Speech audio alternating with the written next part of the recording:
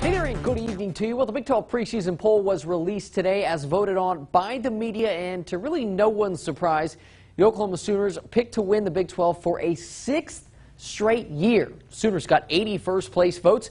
Oklahoma State got six. Hopefully, Gundy can just keep things on the rails in Stillwater this year. Texas, four first place votes. Iowa State comes in fourth. There are Dave Aranda and the Baylor Bears down there in fifth after finishing second just a season ago. The bottom half of the conference looks like this. TCU at six, Kansas State at seven, West Virginia at eight, then Texas Tech and Kansas wrapping things up at nine and 10 respectively.